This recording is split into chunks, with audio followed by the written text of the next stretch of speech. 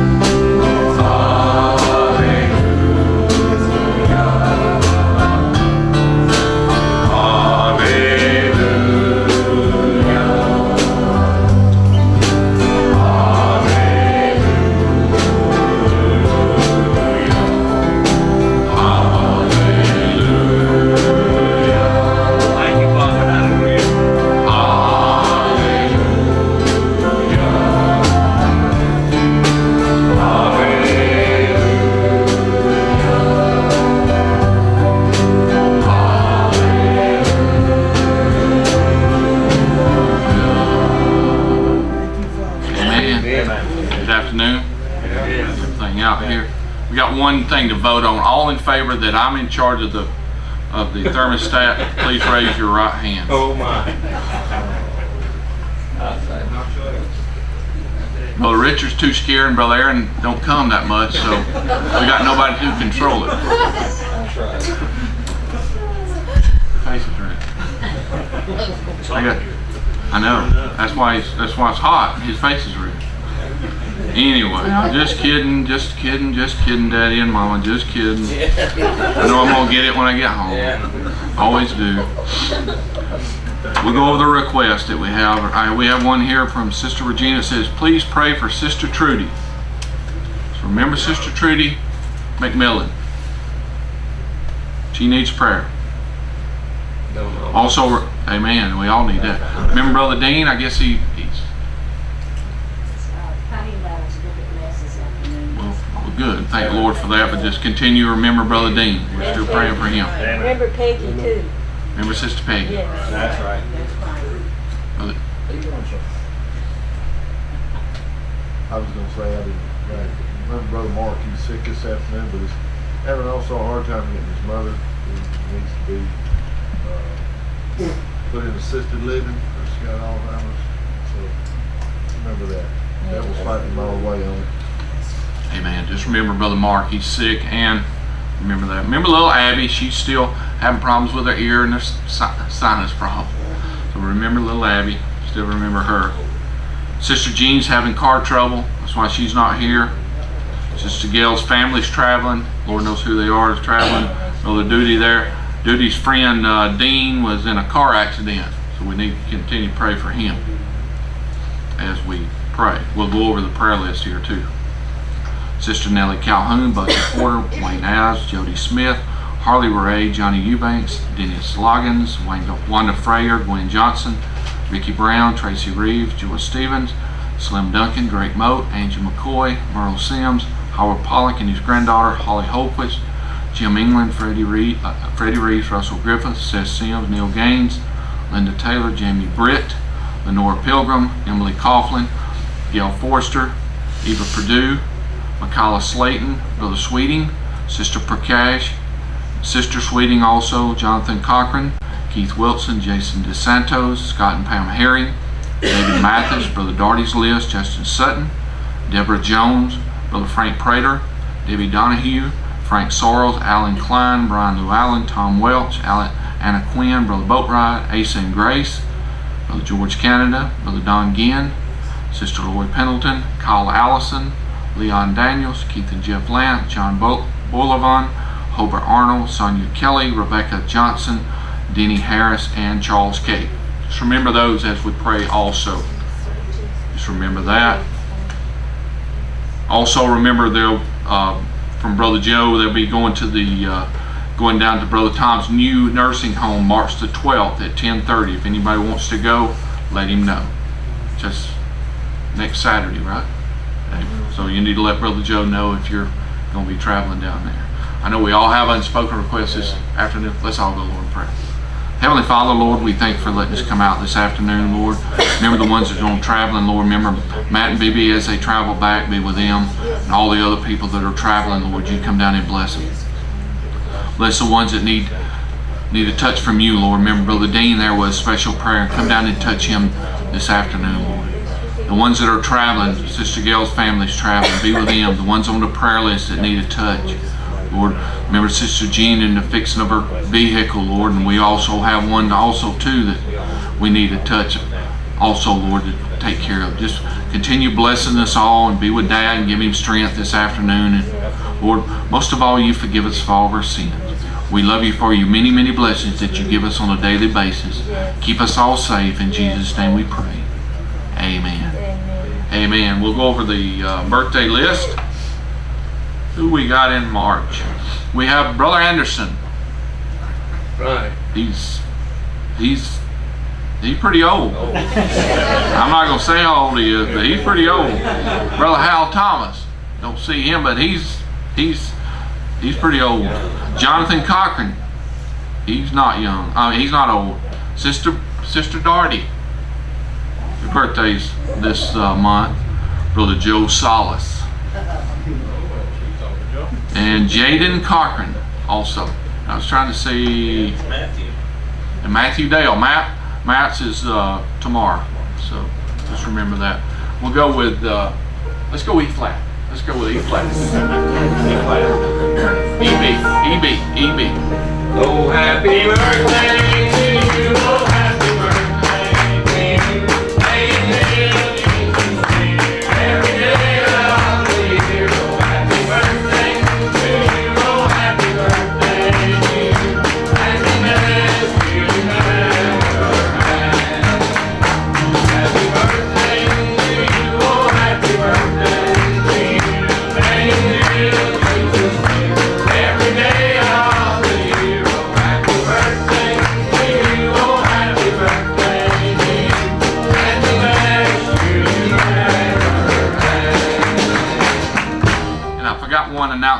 that they're the uh, Brother Daniel Gessendiner's uh, 11th an uh, anniversary meeting is coming up, uh, which will be this coming Friday, Saturday, and Sunday. If anybody needs any information, it is up here. I've got to make that announcement. You can be seated.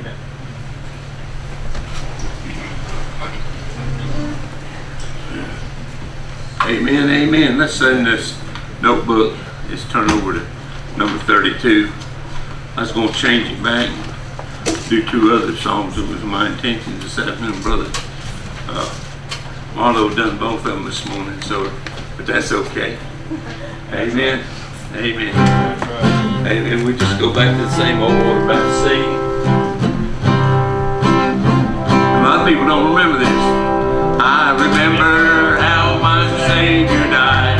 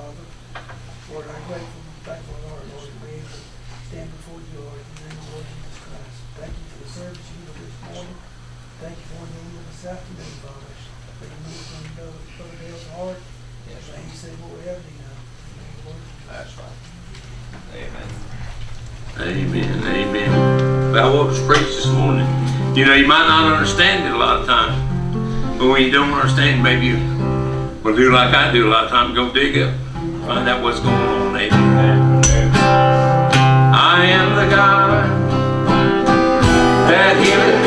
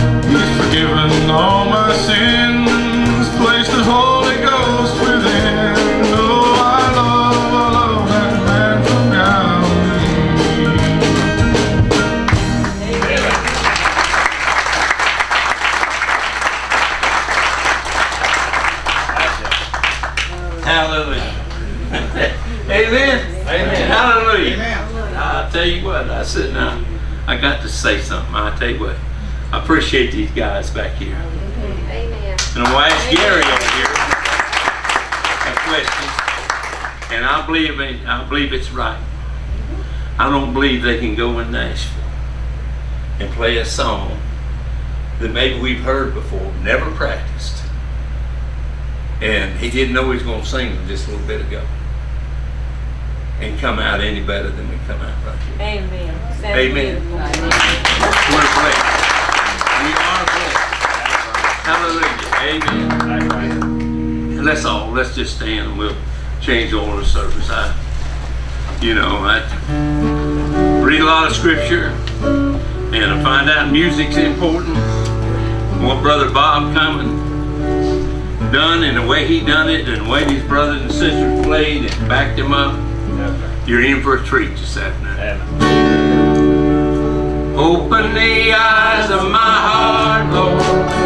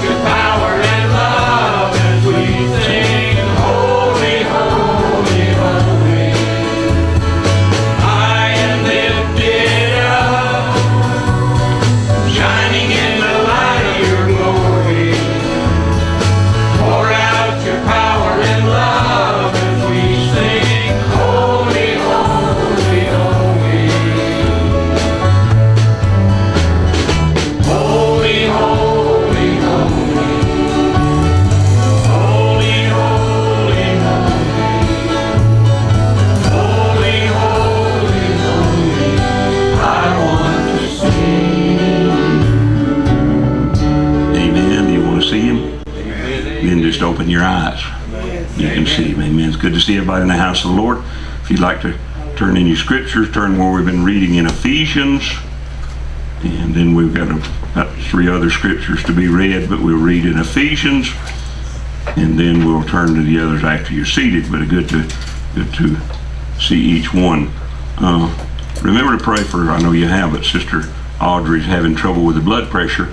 As some of us that's had blood pressure problems and still have it, you can pray and believe with them and, you know, for the Lord to reach down and touch her and, and take away that, that problem with the, with the blood pressure. So let's just, let's just do that. Remember, pray for each one. Remember Brother Dean and pray for that. Remember the, uh, um, ministers meeting will be this coming Saturday at uh, Brother Gerald Hughes, so remember that. And to the ministers that can go. And then the fellowship meeting will be the third Saturday at uh, Brother Tom Creshane's. So remember that. Then it'll be here, you know, in the month of, of May. So remember these. So first, Ephesians 1, and then we'll go over to some of the other scriptures. But Father, we thank you. We love you. We ask you to just bless and guide each and every one of us into your understanding, Father. And we believe that your word is true.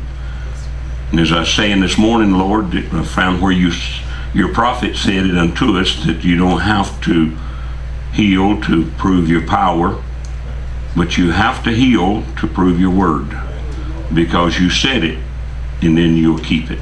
So reach down and touch Sister Thomas and let everything be all right there and bring the blood pressure down, make it normal, and all be well. And remember Brother Dean, Lord, and touch him. Remember each one of the others here that are sick among us. Remember our wife, Lord, with her with her back problems, and just you let your love be with each one. We love you and we thank you. Forgive our sins, because that's where we want to stand complete in you. And then, Lord, come and speak to our hearts and lives. Open truly the eyes of our understanding to the revealed word. In Jesus' name, amen. Ephesians 1. Now, we were talking about this last night You know, I think Sister Trudy mentioned it. And see, Ephesians 1, I keep reading basically, not all of it, but uh, doing it. But to me, this is an entire Bible in its own. In other words, if you want to know what the Bible's talking about, read Ephesians 1. It covers everything from the new birth to chosen in Him, adoption, the change. Uh, everything is right there in Ephesians 1. So if you want to just keep reading over it and over it and over it, it really helps me to anyway, you know, to read it. So let's start with verse 3. Blessed be the God and Father of our Lord Jesus Christ, who hath blessed us with all with all spiritual blessings in heavenly places in Christ, according as he hath chosen us in him before the foundation of the world, that we should be holy and without blame before him in love, having predestinated us unto the adoption of children by Jesus Christ to himself, according to the good pleasure of his will, to the praise of the glory of his grace, wherein he hath made us accepted or at in the beloved in whom we have redemption through his blood, the forgiveness of sins, according to the riches of his grace, wherein he hath abounded toward us in all wisdom and prudence, having made known unto us the mystery of his will, what, to adopt us, to, to finish this whole thing up, seeing this day, according to his good pleasure which he hath purposed in himself, that in the dispensation of the fullness of times he might gather together in one all things in Christ both which are in heaven and which are on earth, even in him, in whom also we have obtained an inheritance, being predestinated according to the purpose of him who worketh all things after the counsel of his own will, that we should be to the praise of his glory, who first trusted in Christ. You may be seated. The Lord add his blessing to the reading of his word. Now, if you would, I'd like for you to turn with me to uh, let's go to John 6 first. Just read, you know, a few scriptures and then get into our thought. Uh, John 6, verse 66. Then Simon Peter answered him, Lord, to whom shall we go? Brother Branham said, in other words, three thing, three kind of believers. He said unto in, in verse 67, will you go, will you go, will ye also go away? And Brother Branham said, he's, in other words, he was saying, said, do you wish to go away? In other words, do you wish to go away? You know. Then Simon Peter answered him, Lord, to whom shall we go?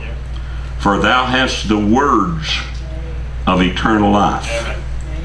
And ye believe and are sure that thou, and we believe and are sure that thou art that Christ, the Son of the living God. Okay? Go to John uh, 10, verse 28. Now, watch these scriptures now. Now, we know what it is, where he's talking about my sheep, verse 27 hear my voice, and I know them, and they follow me. And I give unto them eternal life and they shall never, never neither perish, shall never perish, neither shall any man pluck them out of my hand. All right, going over now to John 17 in verse 1 through 3.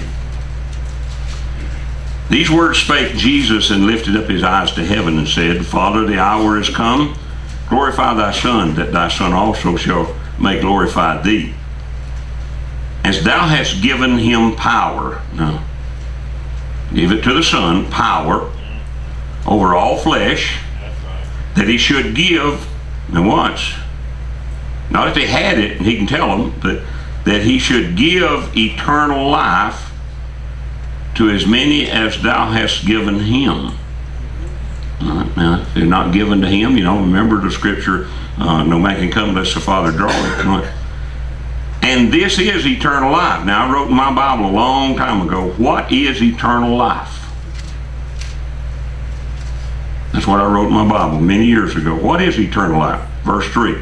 And this is eternal life, that they might know thee, the only true God, and Jesus Christ, whom thou hast sent that you may know. Not think about it and guess about it.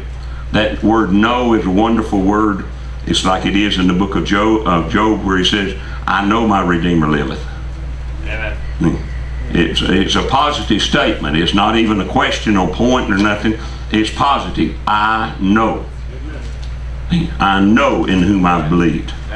See, hmm. all right. So then, you know, eternal life can only come by Jesus Christ. Amen. It is not because you and I are so goody goody people and, and all of this, that, and the other. That's right. It's not on our merits, it's on the basis of what he said. All right. Now, this not to back up much, but to review just a little bit of what we were talking about this morning. And I told Brother Joe to go ahead and title that, What is the Seed of God? Because that's what I want you to look at, you know, or did this morning. What is the seed of God? Is it a some kind of something that you got to put a spot? Well, I was born with this seed in me. What was it? Where was it? Amen. Well, I don't know, but I just believe the prophet. Well, all right. So do we all. Amen. Yeah. But remember, Judas was there with him. Right. You say, yeah, but I'm chosen. Well, remember, Judas was too. That's right. Judas had part of the ministry. If you got part of the ministry, he had part of the ministry. He cast out devils, healed the sick. That's right. We better consider, all right? But see, what is the seed of God? It's the Word of God. Amen. Well, then it was it a word written down inside of you, as I said, tattooed inside of your soul somewhere, or what was it? Or was it simply like the little woman that she had the germ of life? She had heard and she believed that the Messiah would someday come. That's right. And she believed that. Right. But when he came, that was what, you know, was quickened or made alive right there. But now remember what we were trying to bring out this morning. Uh, you know, did that give her eternal life? The prophet said the word was made alive right there. Amen. But did that give her eternal life? No. See? The little woman that touched the hem of his garment, see, she was healed. Did that give her eternal life? No, the prophet said it was faith for the time. Because that's all those people back there could have. Right. Right. David could kill a bear, a lion, and a giant, and then say, Well, glory, come on, anybody else? Because, you know, God has anointed me. Right. Huh? And he knew it. See? Then that was what I was trying to get the point across. See, then the germ of life would be that that God foreknew Right. that you would receive when you came here. All right? But like I said about the little one, like I said about Peter, Peter emphatically stated by the Holy Spirit, Thou art the Christ, the Son of the living God. But that didn't give him eternal life. Hmm? He had to wait till the day of Pentecost. Amen. But you see, that's where we don't take things that I say and and break it down and look at it and take the the the law of just dividing something until you see what's right. You know, if you were if you were taking a uh, test today and it was a multiple choice, well, on the multiple choice, they always say like four answers, right? And and on that, there's always two of them that is so so out of Right. thought until you just mark them two off. And you're not dealing. That's what a lot of people do though, because they'll sit down there, you know, instead of just going down and looking at it and there's questions, so and so and so and so. That don't work. That don't work. Now it's between them two. A lot of people they'll get that question number one. Well, let's see. Maybe it's possible that could be true. And that while the teacher says, "Well, who's answered all the questions?" Well, I ain't got number one yet. Because maybe it could be true. You haven't taken a just X out the ones that's no good Right. you know. And then you're only dealing with two. Then you can just, if nothing else, you can take a chance like I used to do. Yeah, every other one was always true. so you got bound to hit it somewhere, you know. But, but see, we don't do that. We try to figure out anything. Stop trying to figure it out. Just accept what God said. Amen. I haven't figured out yet what He saved me for. Right. Have you figured out what God saved you for? No. See, just don't worry about it. Then you just let it go. Yes. All right. But see, the little woman, she had representation from predestination. God knew she would hear the word and she would believe it above the Pharisees and the things, the religious people. Right. And thereby he could come to that. That was the seed of God. That was what was in her. Not some form of some kind of seed stuck down in there, you know. Because remember how I was trying to bring it out now? Because science can't find the germ of life. Right. Well, if they can't find the germ of life, how are you going to find the germ of eternal life? Certainly not playing around the bean field. But listen, by God's foreknowledge, He would look down through and He'd see that you wanted it, so He had it there for you. Right. But now He'd see that you wanted it. Now we got to move on. See, we've tried to cover some things, but we got to move on in the message to get some points. And uh, today I want to get something out of the way. I know I've got a lot of quotes and things, but I want to get something out of the way that should give us, uh, you know, a, uh, a thoughts and and uh, take away some things and be able to uh, walk on with what we're doing. All right. Now, but we read there. He said, "I give them eternal life." Well, if God's going to give you eternal life, all right, as I said this morning, there's one thing for sure, there's two things are right. First, He's going to give it to you. That's His promise. Right. Number two is you didn't have it. That's right. Well, I come into the world with eternal life. I've got what the prophet said, and you ain't going to get me to deny that. I've faced them before in the Baptist and all down through there, you know. You can't get me to deny that Trinity. Because if I deny the Father, I've denied the Son. You never had them quote scripture to you like that? Hmm? Just quoting it wrong. Right. Exactly. See? But they'll bring it to you that way because that's the carnality of mankind. All right? But now, listen. When you're dealing with the Word of God, you see how vital it is for the Word to be planted pure and unadulterated. All right? Now we covered a message there on talking about it. In non-seed, there is nothing to quicken. All right. Now, non-seed is we know that it, it's it's it has no life in it. Right. All right. But in the Bible, see, of talking about the Word, those Pharisees knew the letter of the Word perfect. They could tell you everything that it said. But when they faced the Lord Jesus Christ, Right. they proved that they were non-seed. Right. There was nothing in them to quicken. Right. You said, but Brother Dale, they had all the Word. Yeah, and they could tell you all of the great parables and all of the great things that went on. They could show you everything. Go find you a good Jew now. He can really explain or expound upon the Word. If you hadn't listened to anybody, listen to that Rabbi Richmond. Come look to Brother Biscoes a lot. He can make it look so beautiful out of the Scriptures. But see, dead to the reality. That's non-seed when you're talking about Christians. See? When you're dealing in the Christian realm, when you're dealing in the religious realm, I'd better say, instead of Christian, in the religious realm, when you're dealing with it, you're dealing with people that know the letter. Right. But yet, if they don't have that germ of life, those Pharisees knew the letter, but they called Jesus Beelzebub.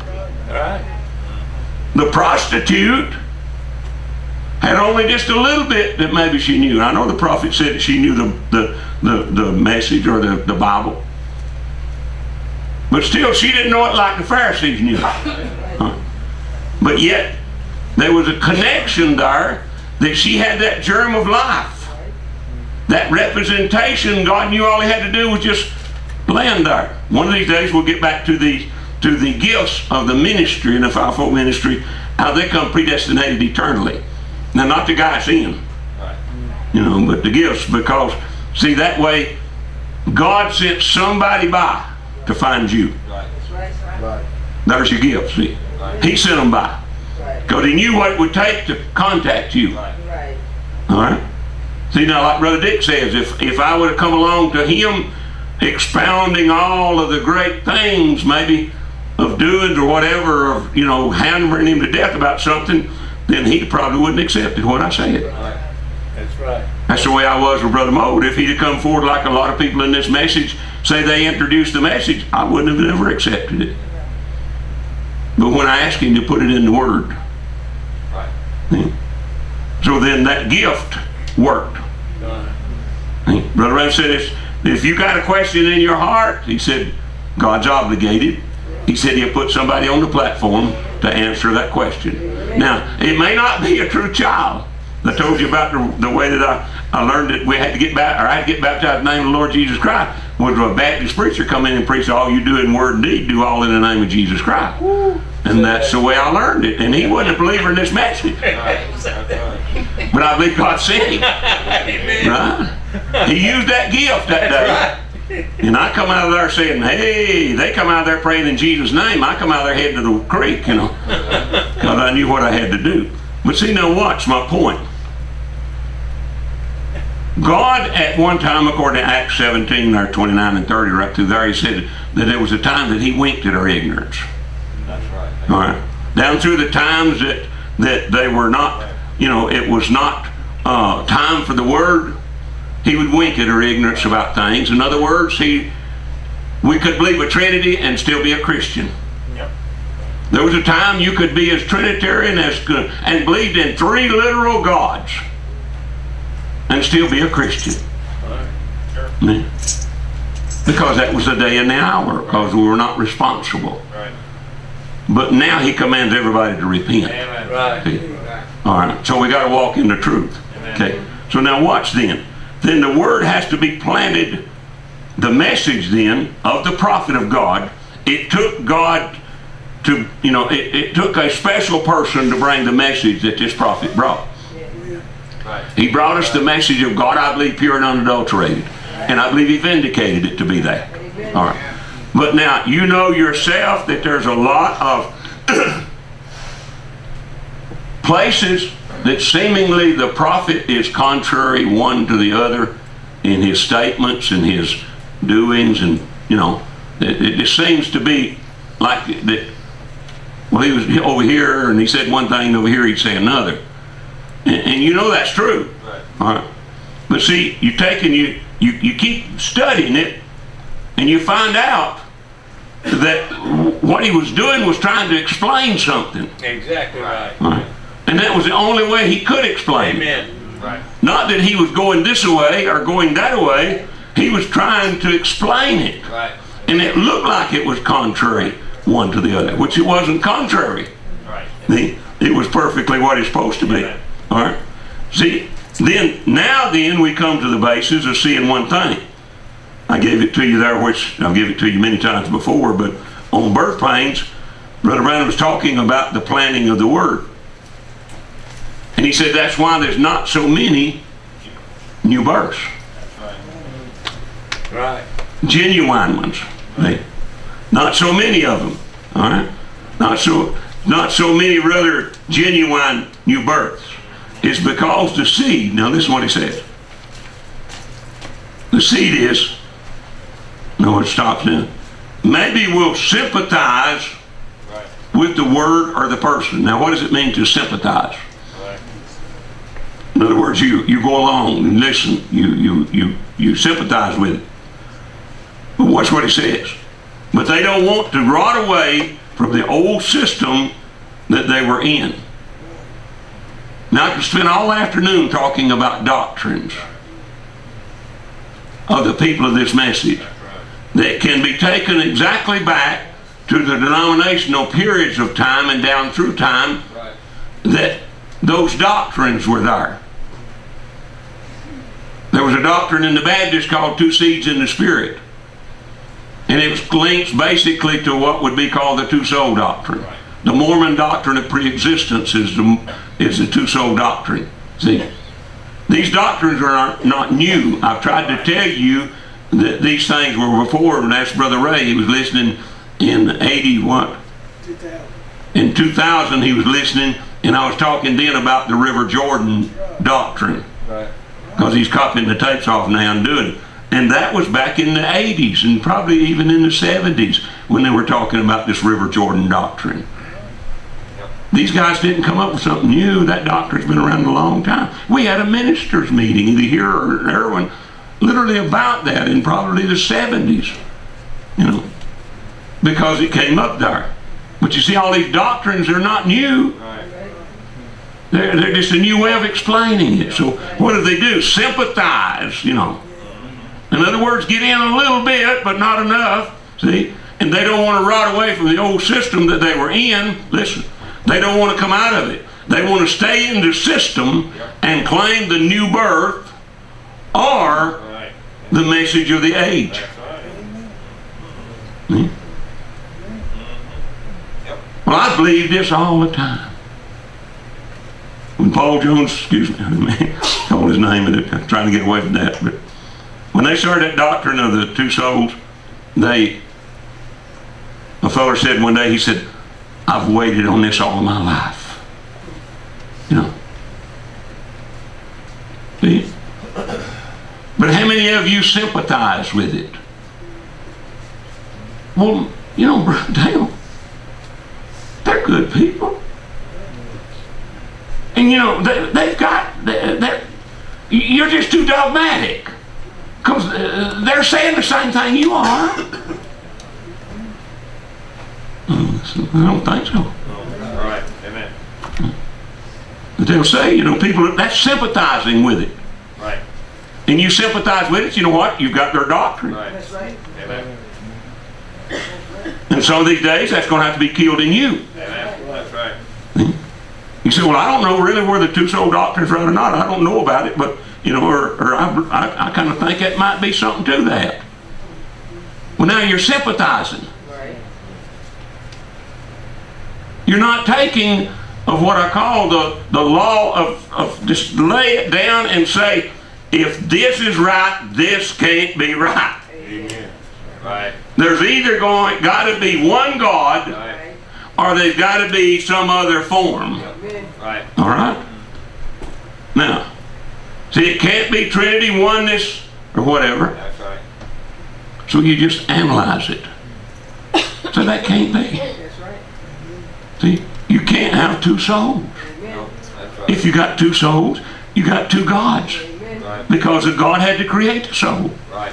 And that's why they say Satan created one, God created one. Satan can't create. That's right. So, bloop, there it goes. I've analyzed that. It can't be. Now, I don't care what all the quote sounds like. It can't be. Why? Because I've used the law of average on it. You say, well, that ain't supposed to be in the Revelation, brother. Okay. You'd have to know what I'm talking about anyway. But now listen. Then we've seen that it's not the person, 154 Church Age book, it's not the person that comes predestinated eternally from God.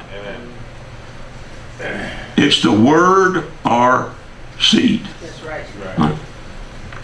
Now, so the seed or word, you know, all right, it can be predestinated eternally from God, Right. but the person is predestinated by foreknowledge. Amen. Are you following? Yes. But the seed is part of God.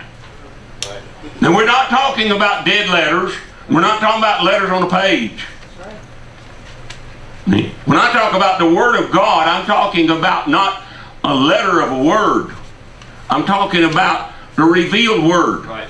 The alive Word. Right. Right? See? And that can only be that God would be the Word, because there is no life outside of that. That's right. So everything in the world is predestinated.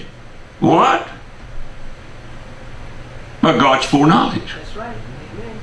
But it's not the person then that comes predestinated. It's the seed. That's right. See, then he goes on to express that Jacob alone was seed. He said Jacob had the seed. That is why he had respect to the birthright and covenant of God. Now Jacob was the seed. You say, well, now, what was any difference in him and Esau? Esau was a better man. Right.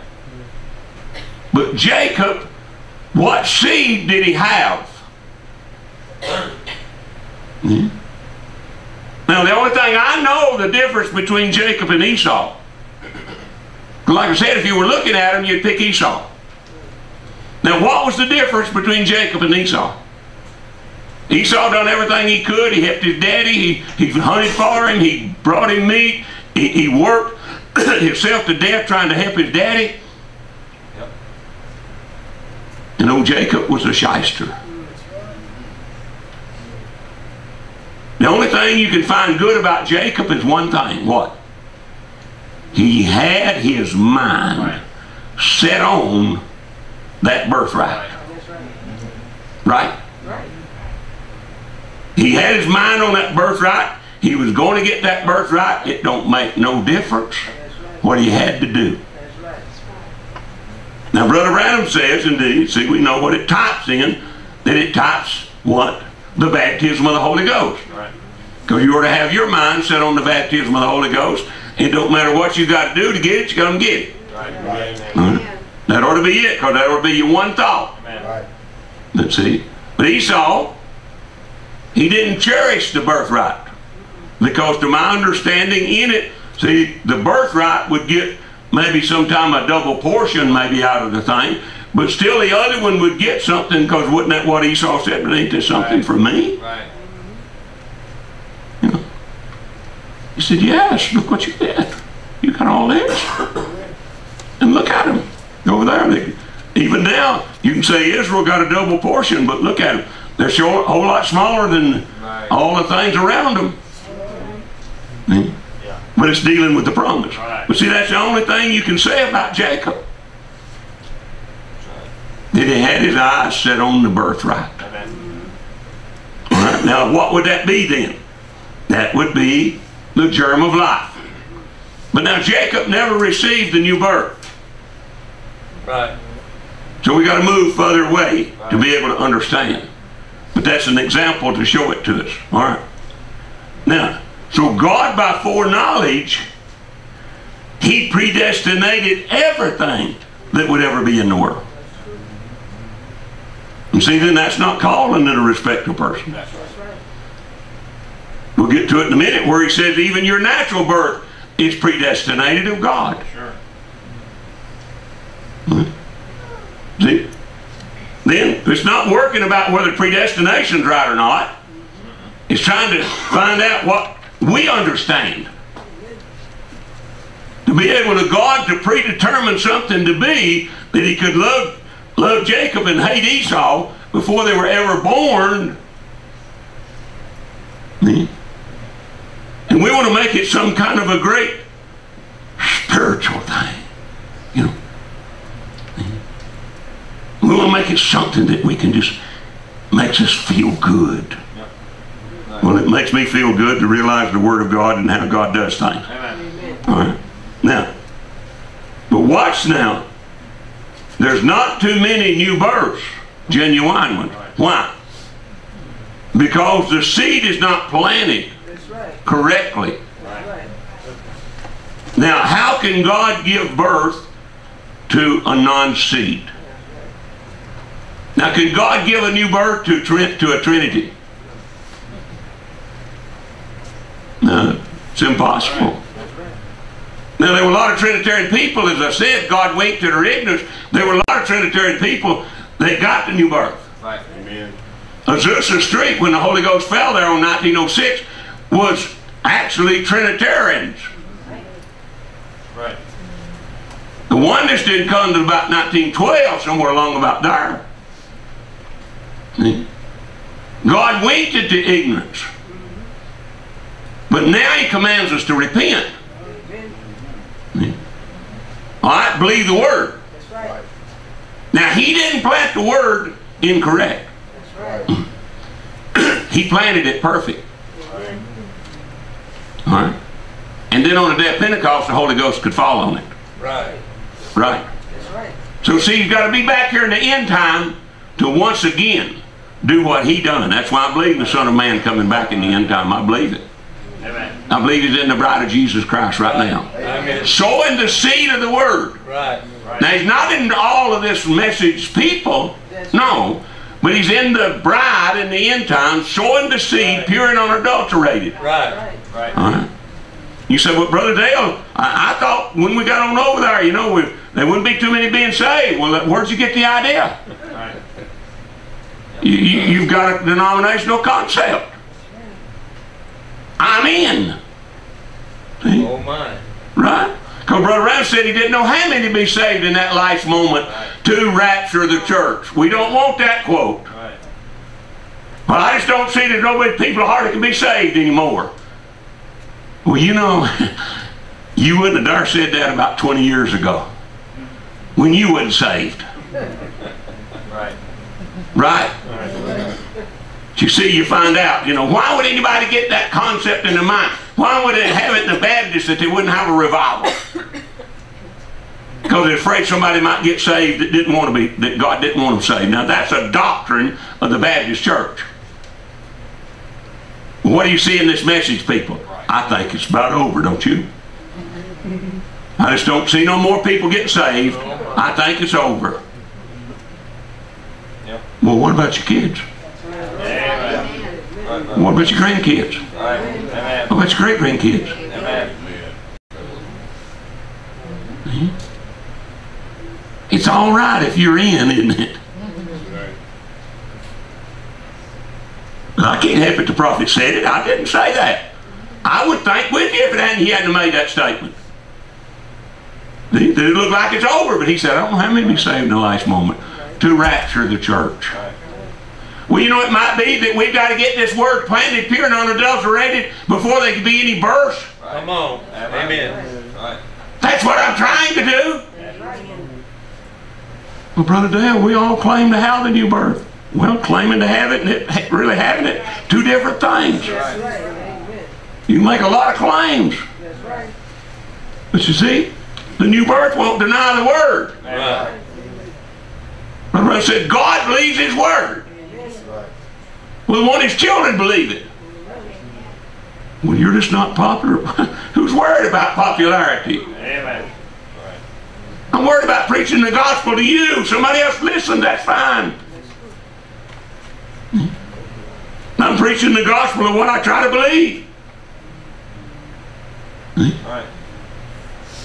Alright? But now, we read it there, and we read it over and over in Ephesians, that we were chosen in Him before the foundation of the world. Well, now if if that's sensible wording, you know, then it means one thing. If we were chosen in Him, some way we've got to have the understanding that we had to be in Him. Amen. Amen. Because if not, you'd be chosen of Him. And if we were chosen of Him, like we take the words to be, then that would make Him being a respecter and not fulfilling His whole plan. Uh, I know it'll be later on, there's another couple of messages down the road, but I quoted this morning. Brother Branham said it was in Him to be a father. Amen. That's right. See, we think that's happened. Something happened on down the road after he'd existed. It was in him to be a healer. Your your mind is still locked on the fact that it had to be sickness and had to be a loss. Now, get it unlocked.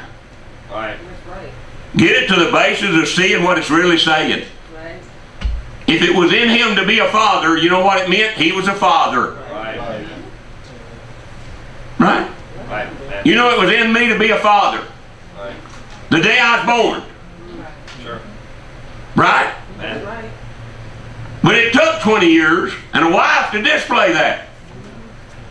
But it doesn't matter, it was already in there. Sure. That's right. So if we were chosen in Him, that meant we had to be in Him.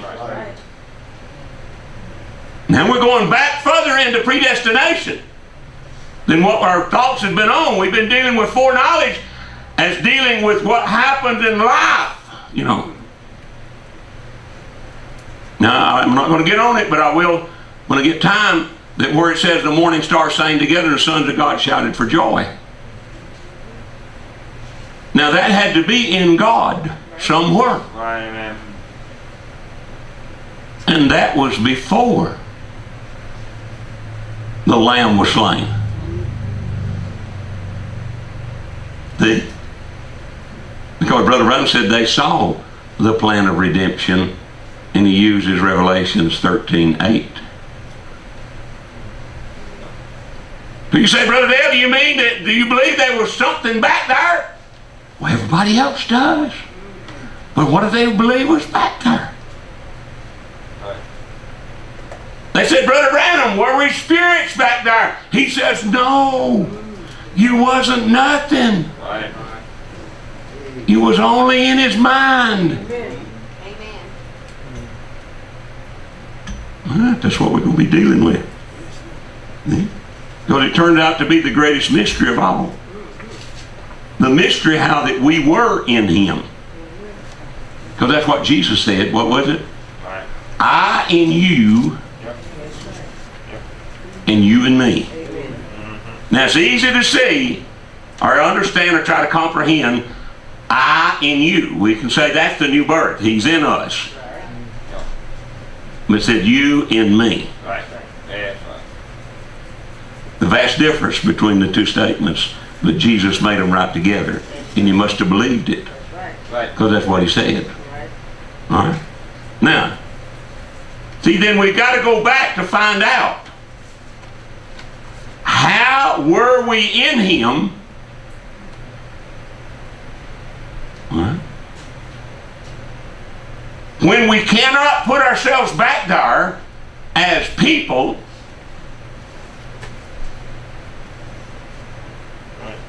because that would bring pre-existence, and we certainly know that this it would have a problem in your mental capacity of your mind to try to think that your body existed.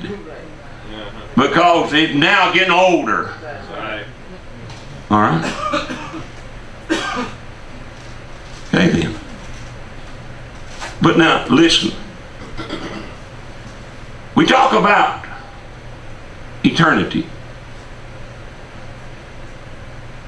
We say eternity has no beginning and has no end. So now, here's where the preachers need to listen a little bit, maybe, and hold on to it. Especially that because they're the ones trying to explain it.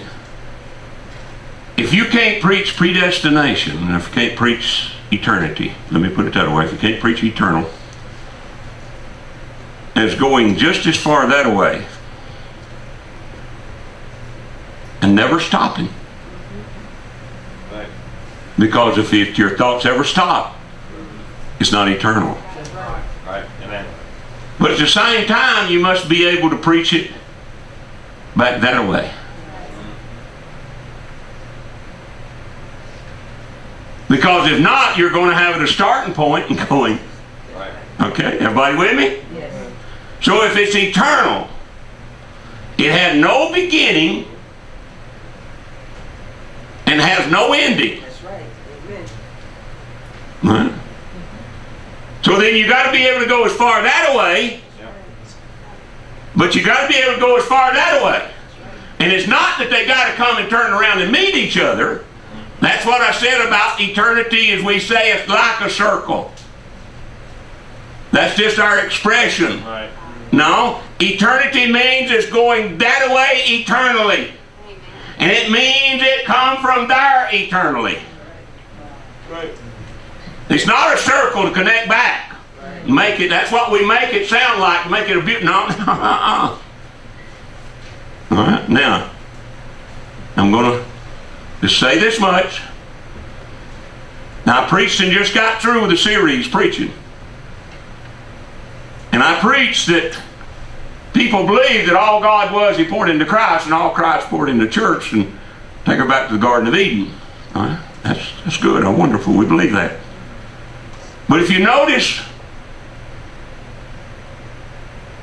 that as I was bringing it, I didn't stop anywhere. I preached it all the way into eternity. That there is a message of cheer, the prophet said, to be given to us in the eternal ages to come. You remember that? Right. Right. See, then I didn't stop. Right. I didn't preach it up to the future home and stop. I didn't preach it to the millennium and stop or whatever. I preached it to the basis of showing you and what I believe that if God is eternal, then there'll, there'll be an eternal partaking of the living God after this world is over. We just come here to get enough understanding, to get enough God in us to be able to understand what that God is. Yes, sir. That's right. Yes, Lord. And When I got through that message, I didn't stop. It's still going. Right. Because if He's eternal, how can you exhaust an eternal word? Right. See, what's our problem is we say eternal word, but you know what our brain says? You know what our conscience inside of us says? Word, word, word, stop, stop, stop, word, word, word, word. That's what I say. That's, that's our mind. Our brain stops us from thinking about the word can be eternal. We think words, words on a page, words on a page. This book, book, we got this book, this book here, we got a book, book, book, book, book. See? But in eternal word, when we're 10 million, trillion, zillions, or whatever you can say, into eternity, we'll still be receiving the revelation That's right. Of Almighty God. Because it didn't stop. Now, I was hoping somebody would bring that up to me one day. Now, if we can't go back that way and keep on going back that way in the correct way, then we just looking forward. You're not taking the word eternal. That's why your prophet would emphasize we don't believe in eternal sonship. He said, because sons have a beginning. So we covered it. What? That one day the son will be under subjection to the father that God may be all in all. Not done away with. We'll still see Jesus and realize he was Almighty God. That's right. Amen. But if we can't go back that way with it now, see that what we're saying out there is just non-seed. If I can't go, not, not me now, the Holy Ghost. If the Holy Ghost can't bring it through me to where we can go back there, then there was something wrong with my going that way.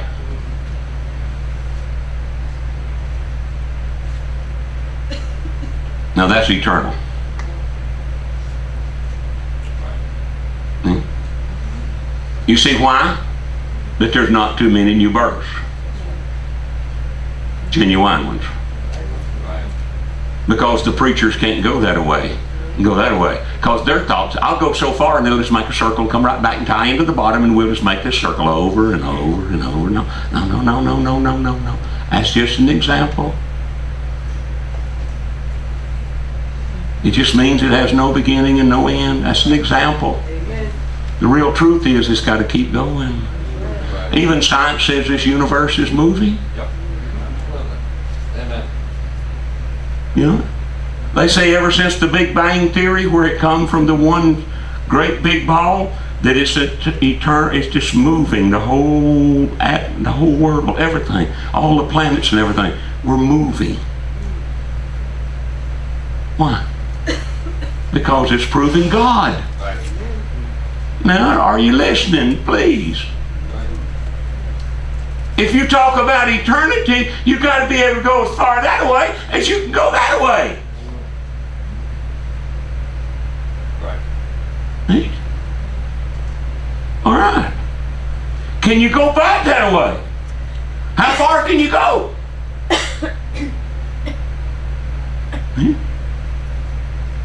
How far backward can you go? Brother Branham said, in the beginning, before the eternal. Now explain that one. When eternity had no beginning, how could he make such a statement in the beginning, but before the eternal? He's just trying his best to express that in the beginning is where we can mentally go back to. Whether it be the creation of the world, whether it be angels, whatever it be. That that is the beginning. But before the eternal, the eternal God existed. The prophet said, I'm coming here. I know I ain't gonna get to read them, but if you got eternal life, you always was eternal. That's right. Right. But that's the question. If you had it. Right. There's the title to the message. This is predestination number eight. Do- Put the title to it. Do you have it? Now, a question, Brother Branham, you'll see every time he uses the word if you have it. Now, if is a question. Right. It's not a fact, a statement, it's a question. Right. It means something is uh, cannot be stated.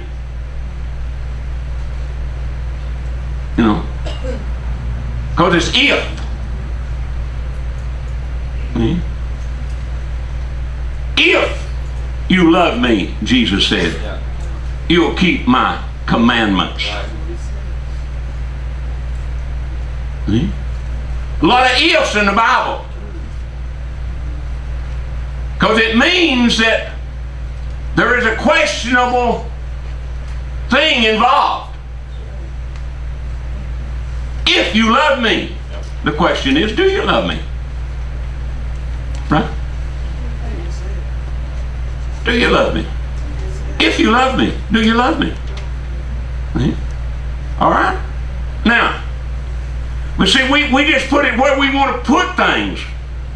And then we just talk about, well, well, I just read what it says here. You know, I always was eternal. Well, what if the prophet in the same message says, if you have eternal life?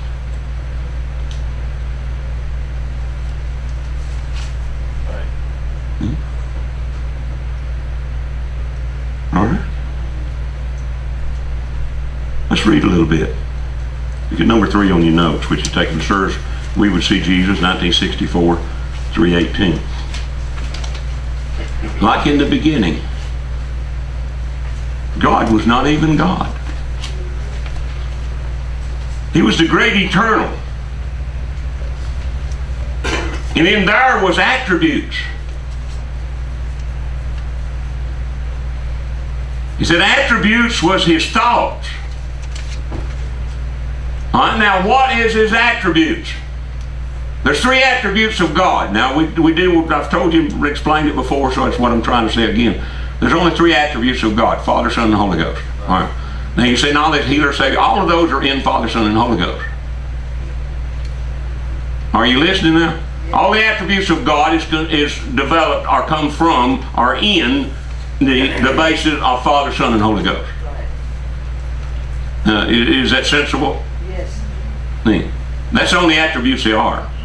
Now, healer, Savior, etc., has to dwell within Father, Son, and Holy Ghost. All right. Now, then, was there ever a time that he was just Father, and then he becomes Son, and then he becomes the Holy Ghost? Now, that's Trinitarian as all get out. We'll read, and Brother Branham said was, he dwelt alone with his attributes. That's why I was saying there a moment ago. If he ever was a father, then that was his attribute. So do you know what it meant? For him to be a father, you know what it means? What what makes us a father? We're not talking about the Catholic Church now calling us father or some preacher, you know, his father so and so. No, we're not talking about that. What makes a father? Has offspring. Yeah. That's simple, ain't it? Brother, that's so deep. That's just simple. Hmm? So then it, our word for God goes back to self-existing. Then there was a time that he existed with himself. But there, was there ever a time he existed without his attributes? Mm-mm. If you do, you're going to start him changing, doing things. Hmm? We're going to see what eternity is.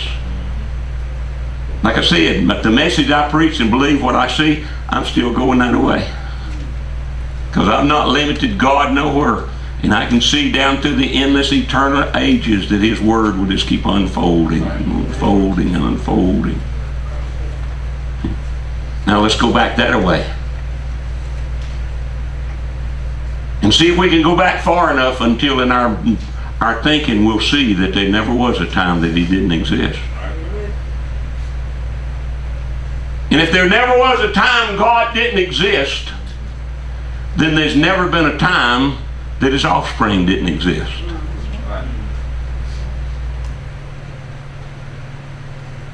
Or you're going to have to say he developed something along the way. All right. See, now you're going to find out what it means. Always was eternal. Because if you have eternal life, how many quotes is it there? If you have eternal life, that eternal life always was eternal. That's right. Right. Hmm? All right. So let's see what your prophet had to say. Hmm. He- He was the eternal God, and then there was attributes. Attributes was his thought. And then it become a word like this. And a word expressed. Well, a thought expressed is a word. Word expresses a thought. And then remember, if you ever was in God's thinking, you'll always be there. Watch. If you got eternal life, there's the if, right? Right. If you got eternal life, you are the expression or the attribute of his thought for this age, if not you. There's only one eternal life. And it always existed. Yep. And you in his mind existed before there was a world. Mm-hmm. That's the reason he said he chose you before the foundation of the world. It isn't what we think, what somebody else thinks, is what God eternal. You always was, see, in his thinking. It was in him to be man. Now, when did that develop? Right. Sure, later on. Right. But it was always in him. Right. Sure.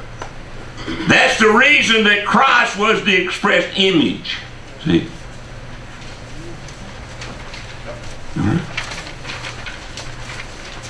So where were we?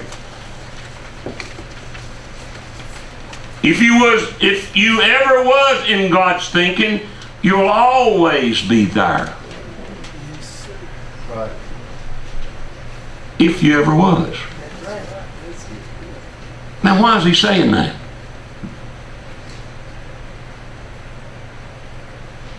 Because the if is left up to you and I. You remember I said a lot of times, I said, well, now, uh, you know, I say this because it's left up to you to think about it. If God is real, if there is a God, that doesn't mean I doubt that God is real. That doesn't mean I doubt there's a God. It, I, I say it, I said, I, I, I'm leaving it back to you. That's to you if you think. If you think there is a God, why can't you think that God can never have another thought?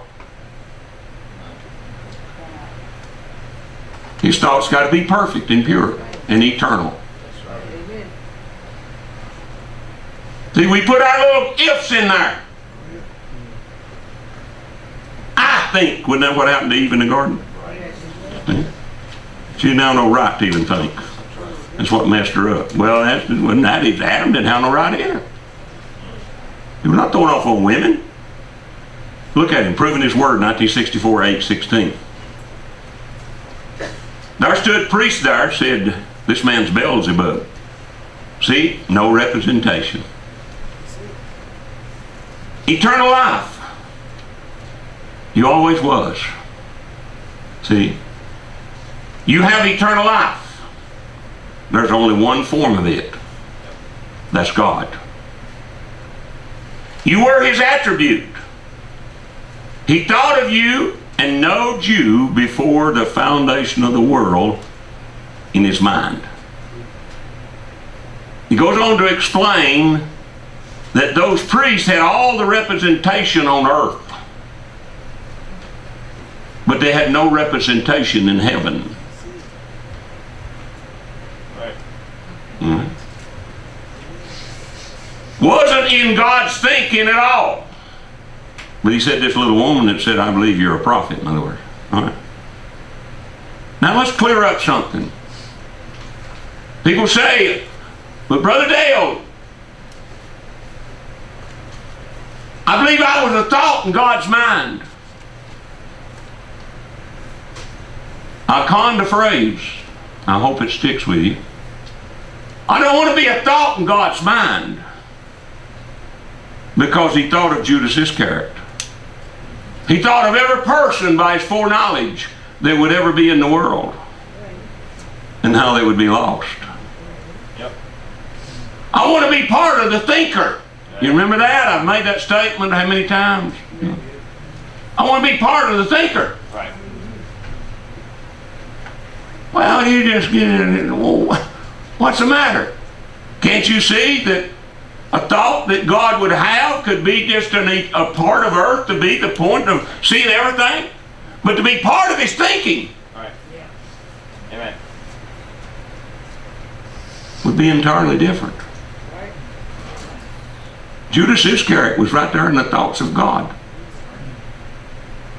But he was not eternal. He proved it because he didn't receive eternal life. Right. But now listen. Now God's thoughts are eternal. Okay? So once he thought of Judas being Judas, he could never change.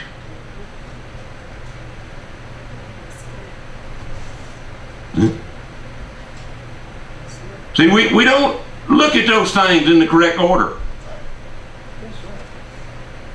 His thought of you and I could be eternal, but that don't give us eternal life.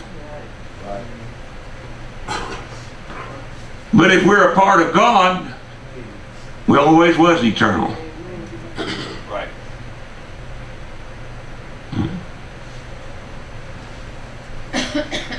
Simple things. Now we're going to take a lot of reading. I wasn't going to do it just a little bit, but I finally decided if you'll notice number five goes on, on, on, on to them arrows and it keeps on going. Okay. That means this is a continuation of reading right out of the church age book. All right. So let's just read. See? People can read you something and say, Do you believe that? The prophet said, I can read to you that Judas went and hung himself and you go do likewise. You believe that?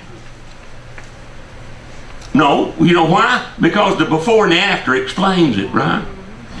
You remember, come on board, pay your board because I'm bored with you? The way you're explaining something gives you the answer. All right? But if you continually read at least one thing about it, you got to admit the prophet said it.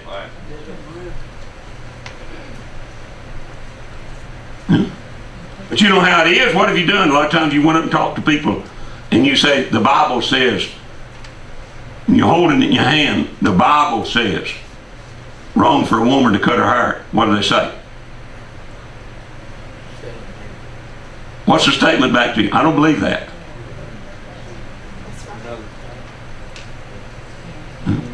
I don't believe that. Well, what do you mean you don't believe it? It's right there. I, I don't believe what you're saying. That's right. I didn't say it. That's right. Yeah, that's your interpretation. What did I interpret? I let you read it. Right? But you see, we're so spiritual, we think, until we can correct Almighty God. Now that's really doing something, isn't it? So let's just start reading and just follow with me, and I'll try to quit here in a few minutes because I know I can't get to all I've got written down. All right, this is page 149, which is the church age book. It's Smyrna church age, but it's in the church age book. All right, this will be 149. It'll be reading through 150 and into 152. All right. Watch carefully now and see this. Before there was ever a speck of stardust, before God was God. And good point. God is an object of adoration, and no one was there to worship him. So he was at that time only potentially God. And he was known only as eternal spirit. The bride was already in his mind. Yes, she was. She was existing in his thoughts. And what about those thoughts of God? They are eternal, are they not? I see. Now don't go back there. I'm warning you ahead of time. And make yourself little bitty people running around. That's right. Amen. Any form you want to make. Theophanies, whatever, then you, you got problems. Anything you want to make it, you got a problem. Leave it alone. You're going to try to figure it out. Don't try to figure it out. Listen to the prophet explain it. Huh? The eternal thoughts of God. Let me ask you, are the thoughts of God eternal? If you can see this, you will see many things.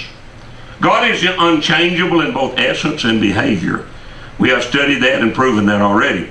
God is infinite in his ability, so therefore he, as God, must be omniscient.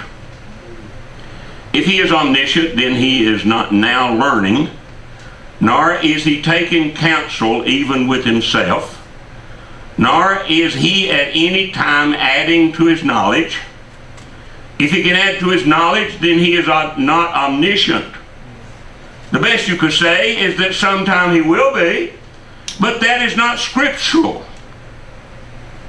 He is omniscient. He has never had a new thought about anything because all his thoughts he has always had and always will have and knows the end from the beginning because he's God. Thus, the thoughts of God are eternal. They are real. Now listen to it. They are not. They are not simply like a man with a blueprint. He has drawn up, which one day will be translated into substance and form, but they are already real and eternal and part of God. See, we draw a blueprint, we make something, we draw it up what we want it to look like. He doesn't do that. See how this works? God always had his thoughts for Adam. Adam has his thoughts which yet unexpressed.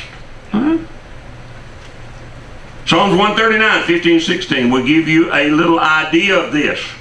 Now keep in mind his thoughts was unexpressed.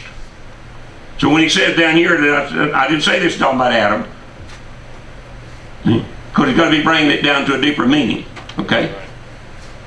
So hold on now and read with me. Psalms, see, 139, 15, 16 will give you a little idea of this. So it's going to give you an idea of eternity, hmm, what it is, or an eternal thought.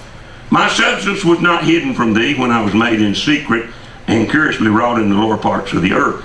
That was talking of Jesus Christ. All right? And then talking of mankind. Okay? Or the bride. All right? Thine eyes did see my substance, yet being unperfect.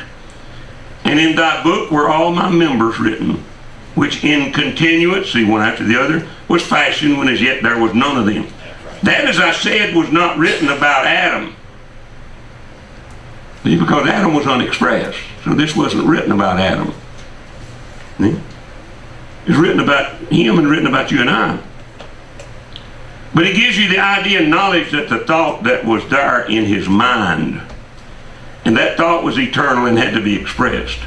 So when Adam was formed of the dust of the earth, and his spiritual being created by God, then Adam became God's thought expressed, and those eternal thoughts were now manifested. Right? In other words, he came on earth. Down through the centuries we go. We find a Moses, a Jeremiah, a John the Baptist. Notice, all of these are Old Testament. Right. Each one of these were God's eternal thought expressed in its season. Then we come to Jesus the Logos. He was the perfect and complete thought expressed, and he became known as the Word. That's what he is and forever will be.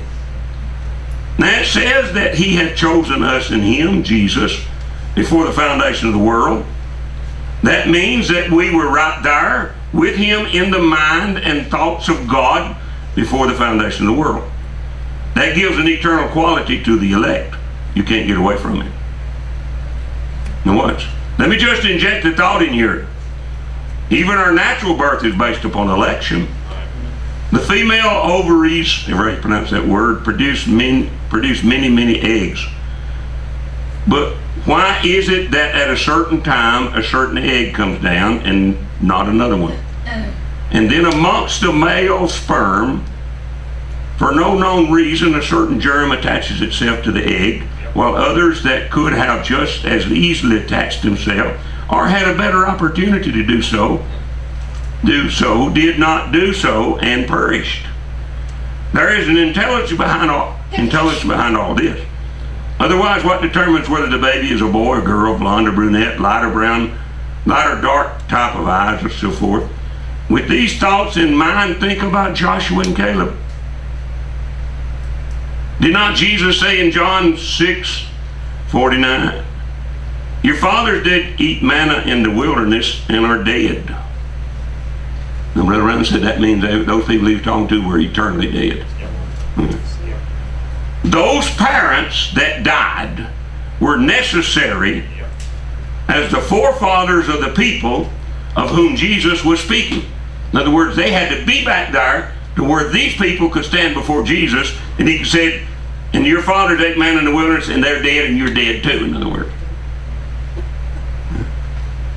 They perished, yet they were in the election of God, naturally as Joshua and Caleb were spiritually.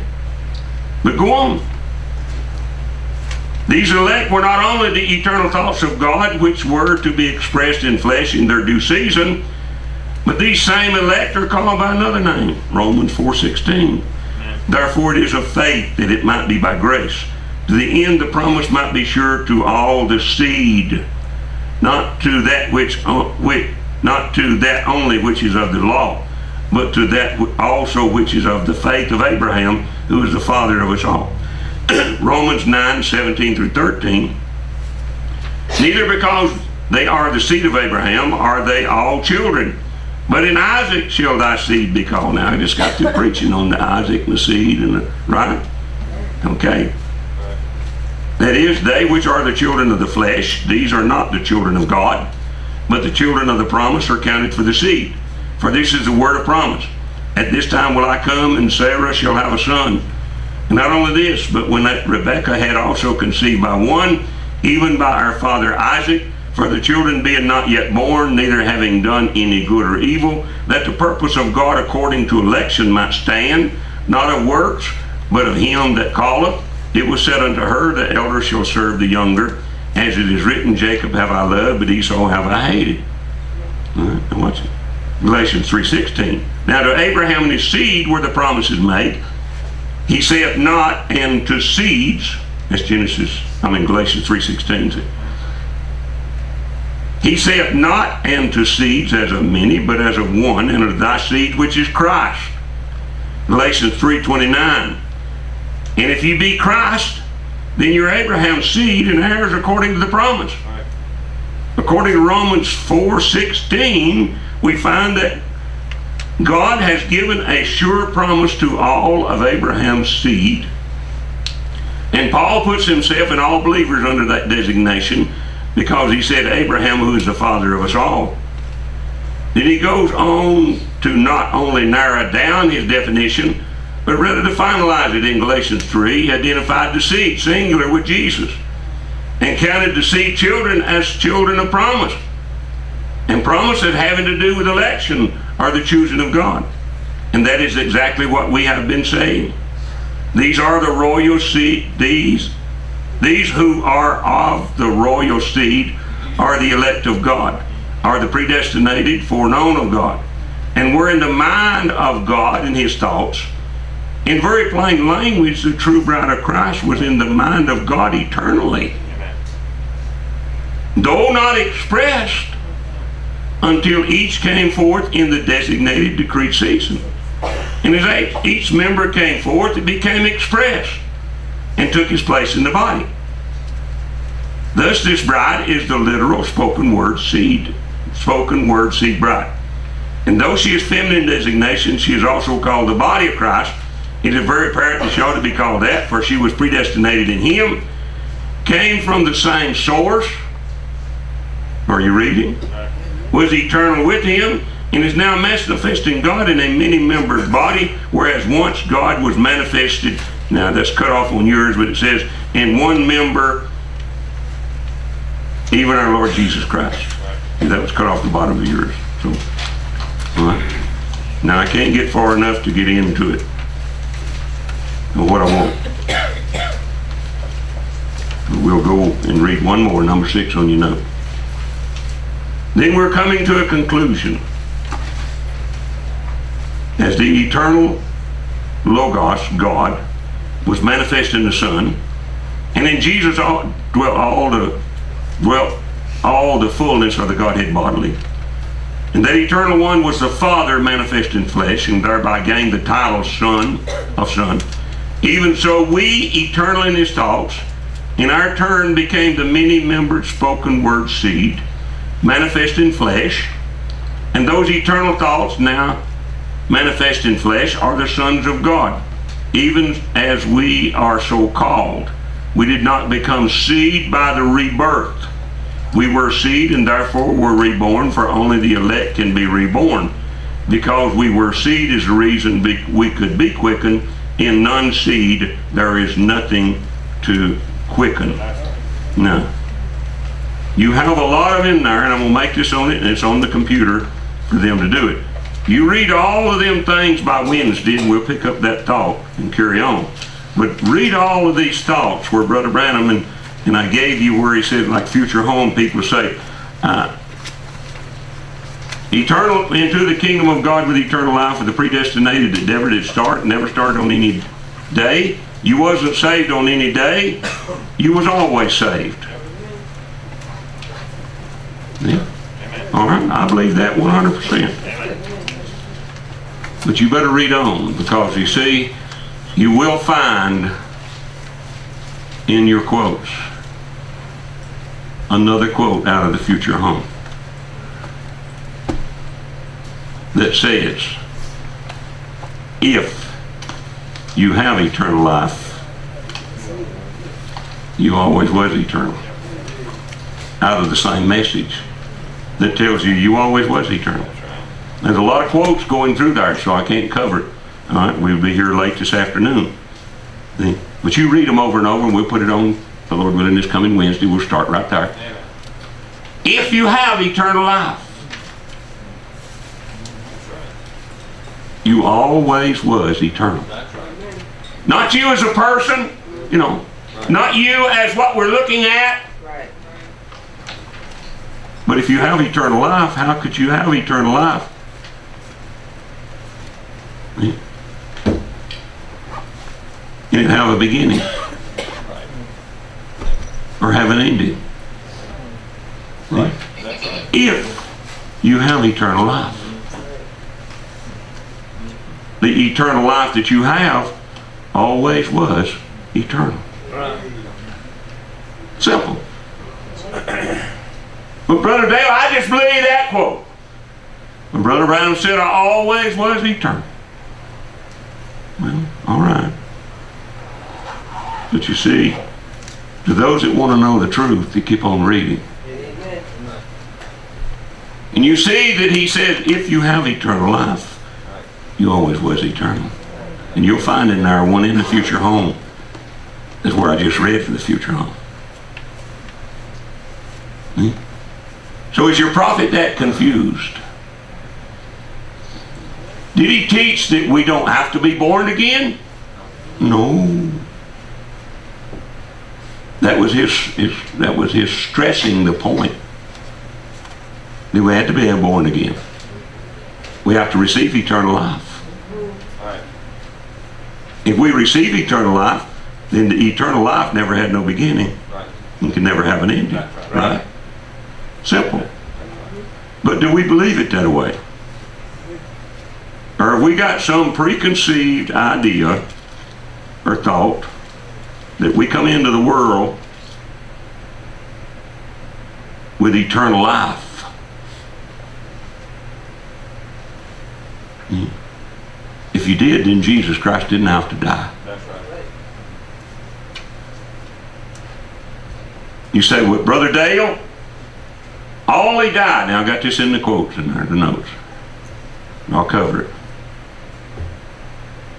He said, you'd say, well, Brother Dale, all it is is the, the new birth and things is just an anointing. That would come on us to let us know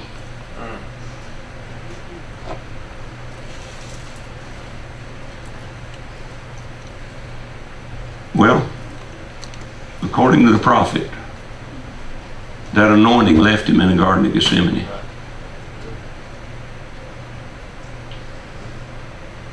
Manifested Sons, 1960. The anointing left him in the Garden of Gethsemane. So now where's your new birth from? You see, there's some things there in the, the church age book we're going to get down and read. Because I've had these read in my face until it's just, you know. Sometimes you actually don't want to read some of the quotes because they've been read so wrong. Brother Branham says in there, and everybody lays up on that, you know. He said an eagle can go a long time before it realizes it's an eagle.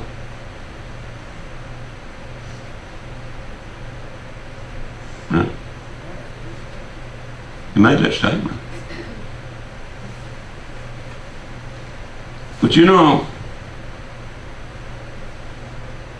they don't consider one thing.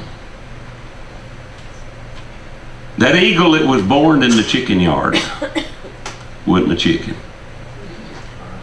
He didn't even look like a chicken. He didn't even act like a chicken.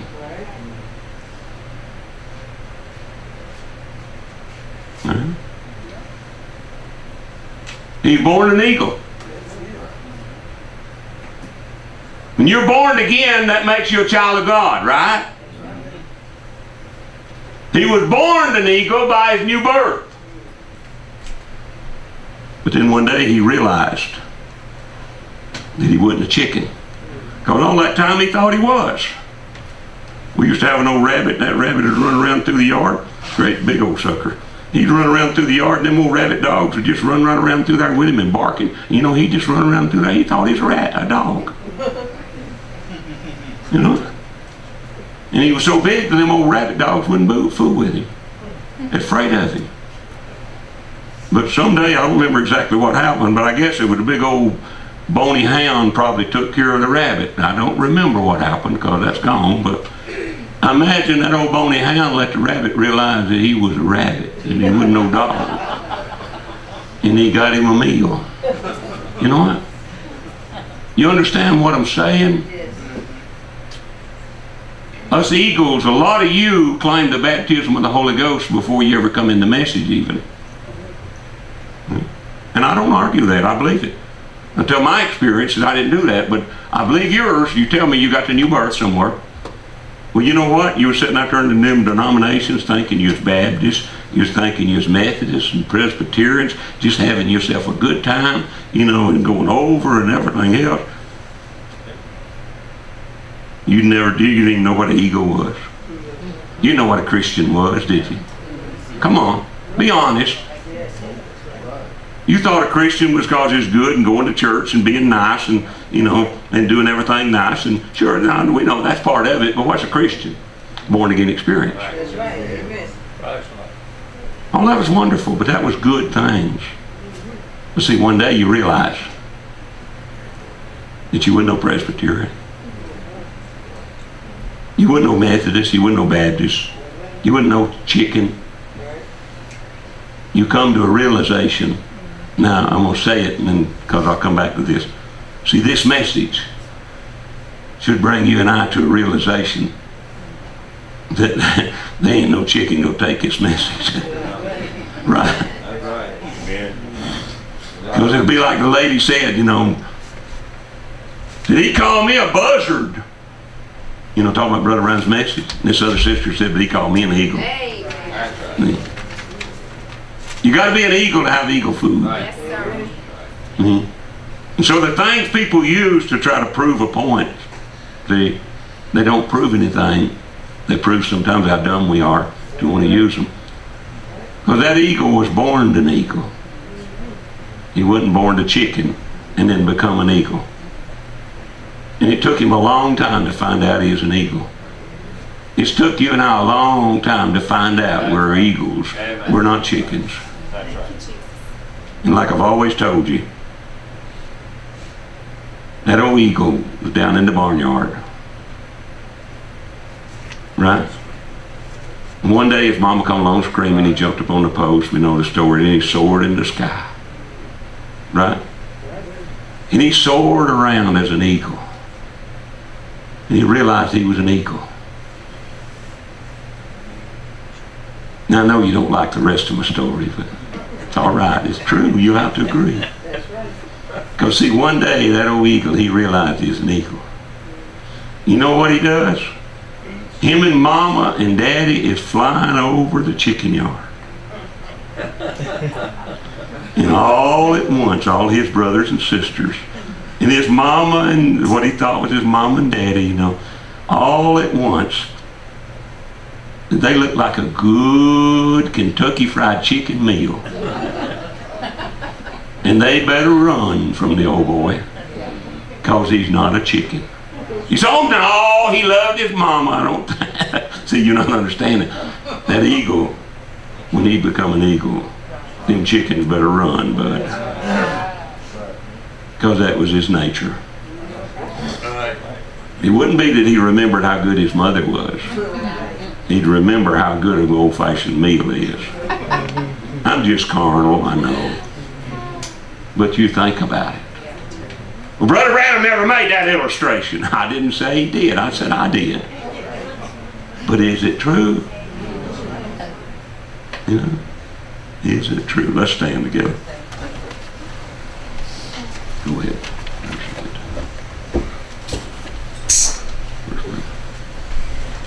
Get Brother Bob there. Oh, Brother Bob, one of you come ahead anyway. We come down to the communion part. Forgive me for joking or anything, because it's not a place to joke, but I don't mean it as a joke, I mean it's the truth. When you really find out you're an eagle, you're not going to go out there and try to sail over and destroy all them things. No, no, we would try to help everybody. Do anything we could to help any denominational person. They call in, want prayer, we pray for them, right? We pray this is sincerely. It's just making a point. The, but there's got to be a day you and I got to find out we're eagles. Right. And we're not going to be scratching in the chicken yard. Them two soul doctrines and Seventh Thunder Virtues and River Jordan doctrines, they become worms, and we don't want them. We want a fresh keel that'll keep going that way That's right. And never stop. But it'll also go back that way and never find a beginning. If I can preach anything whatsoever to you as what I'm trying to bring, is to get you to see God never had a beginning. That's right. And if you have eternal life, the eternal life you have never had a beginning, That's it. Right. but you've got to receive it to have it. Just as Jesus, I've illustrated over and over, right? Jesus stood as a lamb slain before the foundation of the world, correct? But now what if he'd never come to Calvary 2,000 years ago? It would have meant that was false prophecy. He would have been saying something that wasn't true. He had to come to that place. There was a day you and I was lost and doomed and on our way to hell. We had to accept eternal life. We had to accept the pardon to be set free. But once we accepted it, we find out we're just as eternal as He is. Right. Find out with that eternal life that I have never had no beginning. That's a wonderful thing. For I have received of the Lord that which also I delivered unto you, that the Lord Jesus, the same night in which he was betrayed, took bread. And when he had given thanks, he brake it and said, Take, eat, this is my body which is broken for you, this do in remembrance of me. After this same manner also, after this same manner also, he took the cup when he had supped, saying, This cup is the New Testament in my blood, this do ye as oft as ye drink it in remembrance of me. For as often as you eat this bread and drink this cup, you do shew the Lord's death till he come. Wherefore whosoever shall eat this bread and drink this cup of the Lord unworthily shall be guilty of the body and blood of the Lord. But let a man examine himself, and so let him eat of that bread and drink of that cup. For he that eateth and drinketh unworthily eateth and drinketh damnation to himself, not discerning the Lord's body. For this cause many, for this cause many are weak and sickly among you, and many sleep. For we would judge ourselves, we should not be judged. But when we are judged, we are chastened of the Lord, that we should not be condemned with the world. Wherefore, my brethren, when ye come together to eat, tarry one for another. And if any man hunger, let him eat at home, that ye come not together unto condemnation. And the rest will I set in order when I come. So let's just have a few moments of silent prayer, just praying one for another. Remember these that are sick among us, things, and just pray that God will make manifest His word in the healings of the bodies and the, and the deliverance of the souls and set us all free in Him. All right?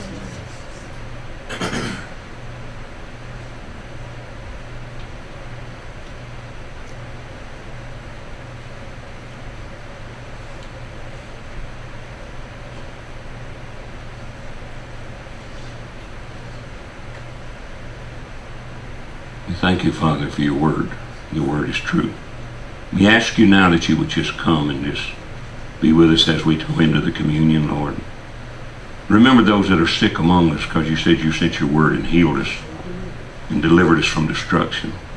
We know Sister Thomas, our Lord, her blood pressure is just running up 200 and all like that, Lord, and it's a dangerous thing. We plead the blood of our Lord and Savior over her, Lord, at this time and believing that you'll take care of everything. Make all well. We thank you and we just commit everything into your hands now. Forgive our sins and lead us by thine understanding and guide us now in Jesus' name. Amen. The Bible said he took bread and blessed it. Father, we thank you that this bread, Lord, has went through the, the part of being cooked and made to where it can be consumed into the human body. And we believe you. We believe you done that. You went through a life. You paid a price. And you became that bread of life. That word, Lord. And may our thoughts be solely upon thy word. That you were the word. And Lord, we pray that you would just, in, in making our understanding be there, that we'd see this is not your body, this is only in representation, that your body is really the Word. But we eat upon these natural things as an example. So we ask you to just bless each one that partakes, sanctify the bread and the partakers in the name of Jesus Christ. Amen.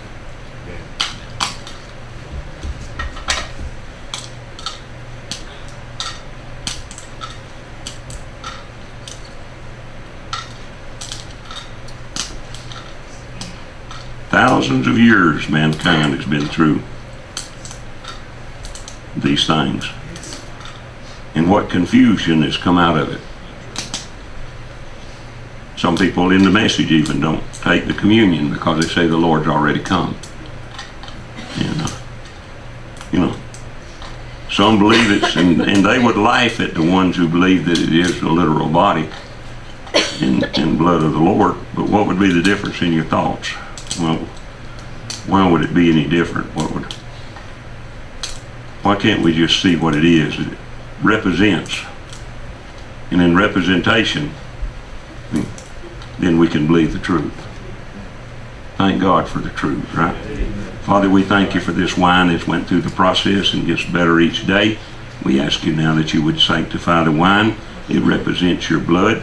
And Lord, as we eat the little piece of bread, and then as we drink this little, little bit of wine, that tomorrow it'll be blood cells in our body for us to live by. And we thank you. You died to pay the price. Now sanctify us, the partakers, that we may all be one together in you. In Jesus' name.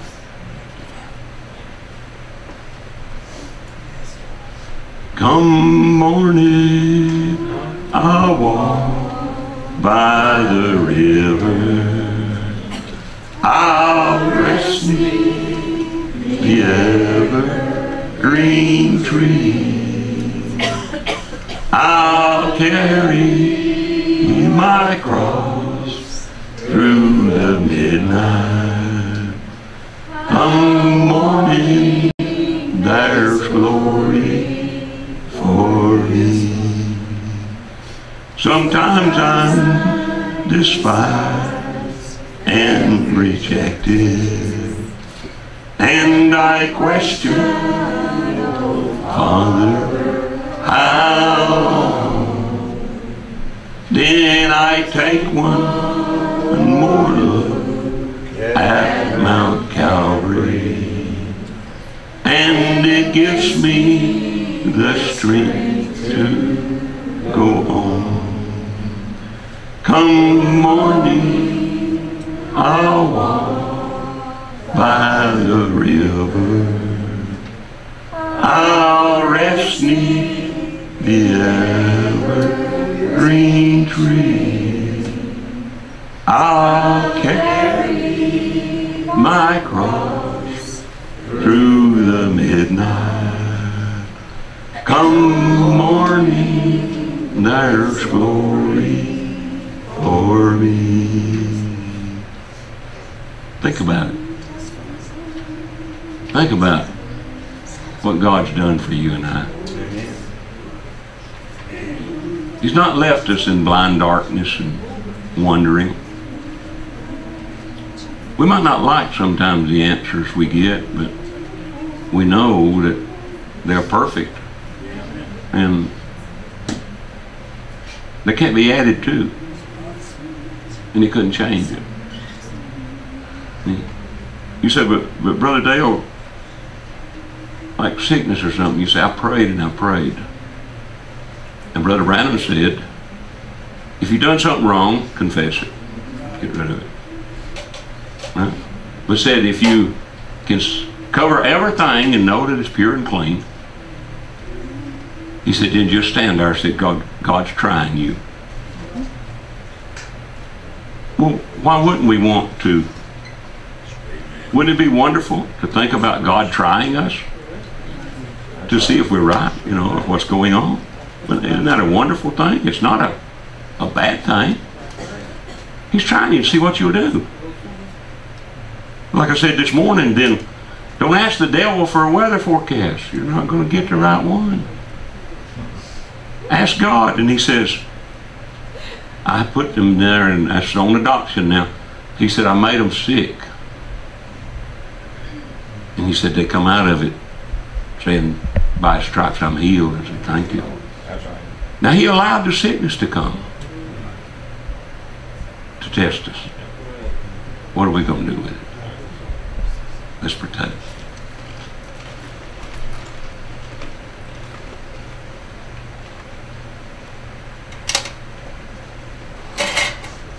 You can be seated for a moment while we read the scriptures, then we'll go into the foot washing.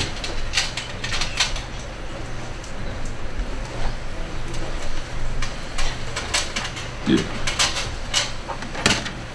did Janet, did they call back to tell you anything about Sister Audrey? Okay, because they're supposed to call back. There, they they was taking her over to the hospital, so they don't know where they put her in the hospital or not. So just, uh, you know, be much in prayer. John 13 and verse 2, And supper being ended, the devil having now put into the heart of Judas Iscariot, Simon's son, to betray him. Jesus, knowing that the Father had given all things into his hands, and that he was come from God and went to God, he rises from supper and laid aside his garments and took a towel and girded himself. After that he poured water into a basin and began to wash the disciples' feet and to wipe them with the towel wherewith he was girded. Then cometh he to Simon Peter, and Peter saith unto him, Lord, dost thou wash my feet? Jesus answered and said unto him, What I do thou knowest not now, but thou shalt know hereafter. Peter saith unto him, Thou shalt never wash my feet. Jesus answered him, If I wash thee not, thou hast no part with me. Simon Peter saith unto him, Lord, not my feet only, but also my hands and my head. Jesus saith unto him, He that is washed needeth not save to wash his feet, but is clean every whit. And you are clean, but not all. For he knew who should betray him. Therefore said he, You are not all clean. So after he had washed, the washed their feet, and had taken his garments, and was set down again, he said unto them, Know you what I have done to you? You done to you? You call me Master and Lord, and you say, Well, for so I am. If I then, your Lord and Master, have washed your feet, you also ought to wash one another's feet. For I have given you an example this you should do as I have done to you. Verily, verily, I say unto you, the servant is not greater than his Lord, neither he that is sent greater than he that sent him.